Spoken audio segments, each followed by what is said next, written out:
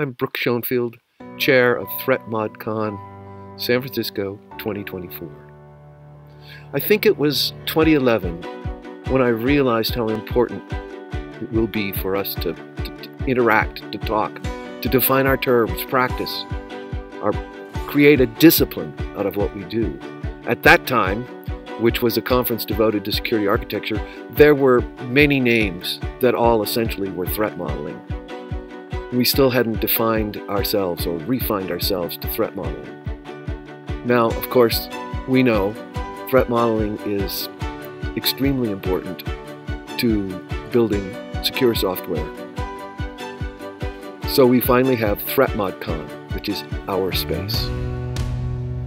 In San Francisco, We'll have papers covering methods, case studies, programs, of course, and the inevitable, a little bit about AI. There'll be two workshops that will, I hope, advance our craft. We have our very own unkeynote, a conversation, not being talked at for 45 minutes. Time for us to simply talk. Talk about what we do and how we do it